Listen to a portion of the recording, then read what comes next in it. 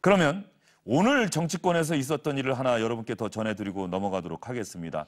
이용주 의원이 이용주 의원이 음주운전을 내갖고 윤창호법, 윤창호라고 하는 미래가 밝았던 젊은이가 음주운전 차량에 치여서 뇌사 상태에 빠졌고 그 윤창호법에 공동 발의까지 했던 이용주 의원 그러고 나서 음주운전했으니 윤창호법의 1호 처벌 대상자가 돼야 한다. 비판 여론이 끓고 있습니다. 이런 가운데 오늘 윤창호 법안을 발의의 주도로 요청했던 윤창호 군의 친구들이 국회를 찾았는데 정치권의 주요 인사들이 과연 윤창호 군 이 사건을 그리고 음주운전에 대한 생각을 어떻게 이해하고 확실하게 알고 있고 그런 상황인지 보여줄 수 있는 단적으로 보여줄 수 있는 장면이 있어서 여러분께 한번 보여드리도록 하겠습니다. 우리 대학생 윤창호 군이 음주운전 사고로 어, 아주 그 고귀한 목숨을 잃은 사고가 있었습니다. 오늘 어, 이 비대위원장실에 어, 저희 그 윤창호 군의 친구분들께서 직접 찾아오셔서 요즘은 음주운전을 아주 조심을 하지만 사실 나도 아주 젊었을 때는 음주운전을 좀 했었어요. 근데 최근에 또 국회의원이 음주운전 적발이 되고 그래서 제가 마침 다행히 다른 사람이 신고를 해서 사고를 내, 내진 않았지만 음주운전 사고는 뭐 살인행위나 다름이 없는 것이고 경각심을 아주 높여야 됩니다.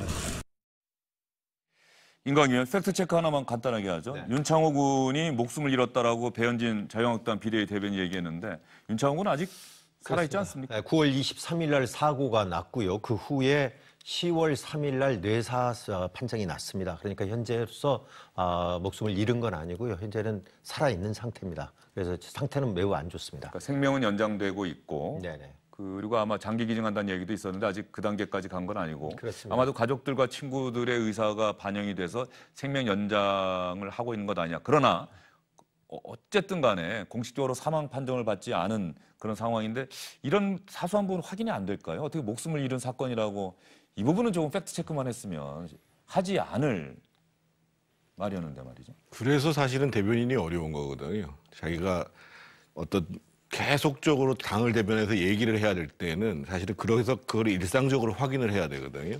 그래서 이제 아직까지 정치권의 대변인으로서 준비가 안 돼가지고 이제 큰 사실은 상처를 남기게 되는 거죠. 예, 그 이 부분은 뭐 뇌사 상태니까 사실상 사망 상태 아니냐 이렇게 얘기하시는 분도 계실 수 있겠습니다만 분명히 의학적으로 정식 사망 판정을 받지 않은 윤창호 군에게 사망했다, 목숨을 잃은 사건이 있었다라고 얘기한 부분은 좀 생각을 해보게 합니다. 팩트 체크를 제대로만 했다고 한다면 더군다나 윤창호 군의 친구들이 왔는데 말이죠. 손학규 대표 솔직하게 얘기하면서 음주운전의 경각심을 일깨우는 발언인 것 같은데 저 발언 들으면서 왠지 이용주 의원이 자신의 사건을 계기로 음주운전의 경각심을 그렇죠. 그- 가졌으면 좋겠다고 얘기한 것과 좀 약간 비슷한 느낌을 갖는다는 분이 좀 계실 것 같아요.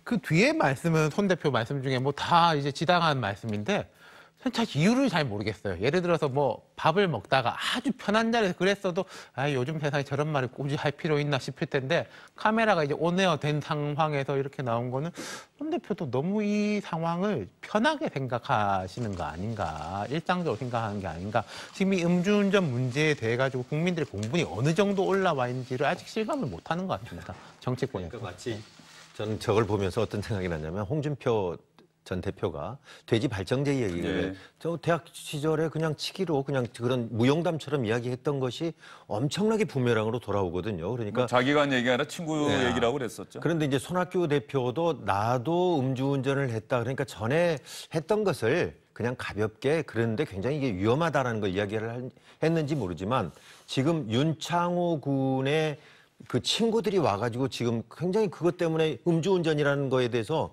굉장히 지금 머릿속에 남아있는데 그런 상태에서 저렇게 공식적인 자리에서 저런 걸 이야기했다는 거는 손학규 대표가 좋게 말하면 순진했고 나쁘게 표현하면 굉장히 사태 파악을 못했다 이렇게 볼 수 있을 것 예, 같습니다. 뭐 솔직하게 과거의 잘못을 인정하고 아마 그런 취지에서 음주운전 더 열, 엄하게 처벌해야 된다고 얘기를 하기 위해서 저 얘기를 한 것 같은데 어쨌든 듣는 사람들 입장에서 좀 중요한 말씀 하셨어요. 윤창호 군의 친구들과 만난 자리에서 저 이야기를 한 거 과연 윤창호 군의 친구들은 어떻게 들었을지 궁금합니다. 세 분 오늘 긴 시간 수고 많으셨습니다.